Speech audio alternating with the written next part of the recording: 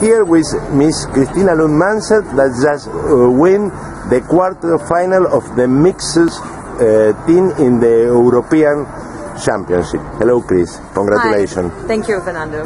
Can you explain us, uh, board 19, that you play five diamond? Uh, well, what happened was um, the auction went um, one diamond it went first it went past um, by the guy Andrea Manno, very good Italian player. He passed, and my partner he uh, bid a diamond. And Tom went past. Barken My partner Tom Bakkeren from the Netherlands. He opened a diamond, and next hand passed, and then I bid a no trump. I had uh, four triple three with um, Nine point. with nine points, yeah, and some tens and nines. Uh, so I bid one no trump, um, and it went uh, Pass. two hearts overcall by Andreas, um, who had a passed hand, and my partner now bids three diamonds, and we were vulnerable against not.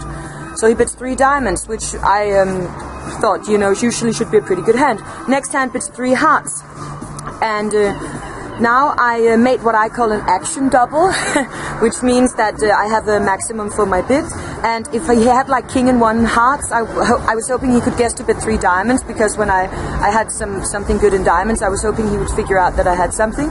And uh, then when he bid four diamonds, and he could also perhaps choose to pass if he had good defense. And when he bid four diamonds, I thought he had a good hand, and then maybe he had a singleton heart because the Italians he had a passed hand, and they bid pretty solidly, and she bid three hearts even though her partner had a passed hand.